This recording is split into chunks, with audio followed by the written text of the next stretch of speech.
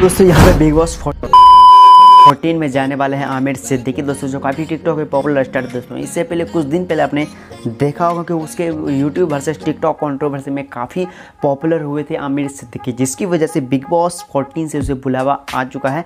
ये ABP news पे, जैसे आप देख सकते हो स्क्रीन साइड पर ये एबीपी न्यूज़ पे जो कि न्यूज़ छपा हुआ था। अब उसकी तरफ़ से अभी तक कोई भी इस तरह का डायरेक्शन नहीं दिया गया कि मैं बिग बॉस में जाने वाला हूँ। आमिर सिद्दीकी की तरफ़ से भी कोई भी तरह से ऐसा अपनी तरफ़ से नहीं बोला है। अभी फ़िलहाल मैंने न्यूज़ पर देखा तो मैंने अपने दोस्तों के साथ ज़रूर शेयर कर दूँ कि ये बिग बॉस फोर्टीन में जा सकते हैं आमिर सिद्दीकी दोस्तों साथ साथ यहाँ पे निशा गुरगैन जो टिकटॉक के पॉपुलर स्टार हैं मिस्टर फेजू ये सब भी जा सकते हैं, लेकिन अभी कन्फर्म उसके तरफ़ से नहीं हुआ है कि जाएगा या नहीं, लेकिन बुलावा आया है यहाँ पे सिर्फ़ आमिर सिद्दीकी के दोस्तों, जो बिग बॉस फोर्टीन के अगले कंस्टेंटेंस होने वाले हैं, दोस्तों। और यहाँ पे दूसरी न्यूज़ सुनने को मिल रही है टिकटॉक की तरफ़ से। दोस्तों, यहाँ पे टिकटॉक जो है काफ़ी फास्टिंग डाउनलोडिंग, जिसके वजह आप जान रहे हैं कि बैन हो चुका है, लेकिन यहाँ पे ये गूगल के माध्यम से सीधे प्ले स्टोर से डाउनलोडिंग हो रहा है। अब क्या हो इसका मामला, पूरा फीचर्स मुझे कुछ पता नहीं, लेकिन आपको क्या लगता है इसे आप देख सकते हैं। सबसे पहले आप प्रूफ को देखिए, इसका आई प्रूफ देखिए, इस साइड से। जो मैंने जैसे जैसे गूगल पर सर्च किया टिकटॉक और वहाँ से जैसे मैंने क्लिक किया, फटाक से वो इंस्टॉलिंग में चले जाता है, जो कि गूगल से डायरेक्ट इंस्टॉल होता है भाई। जब इंडिया में टिकटॉक को बैन किया गया तो ये कैसा चीज़ है?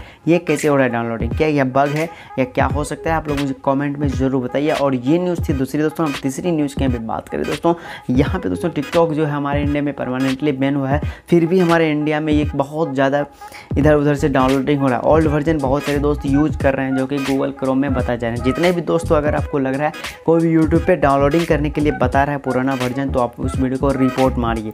और भाई, ये हमारा देश के खिलाफ है। जो अप्लीकेशन उसे आप यूज़ मत कीजिए। अगर आप कहीं भी देख रहे हैं उस तरह का अप्लीकेशन जो चल रहा है तो उस अप्लीकेशन को फटाक से डिलीट करवाइए अपने मोबाइल के। दोस्तों, ये हमारी सिक्योरिटी हमारे लिए ही की जा रही है केंद्र सरकार की तरफ़ से। तो फाइनली आप हम हम लोग मिलकर सरकार की नियमों का पालन करेंगे और इस चाइनीज़ ऐप को जितने भी हैं, किसी को भी यूज़ नहीं करेंगे। अगर वो यूज़ भी हो रहा है किसी भी तरह से फेक तरीके से तो हमें यूज़ नहीं करना है। तो ये सारा चीज़ आस्था था स्पेशल वीडियो और दोस्तों, आप लोग से उम्मीद से कि आपको हमारा वीडियो ज़रूर ही पसंद आया होगा। और आप लोग से एक रिक्वेस्ट भाई, आप लोग किस टॉपिक पर वीडियो देखना पसंद करोगे। मुझे कमेंट पे ज़रूर बताइए और साथ में इंस्टाग्राम पे मैं फॉलो की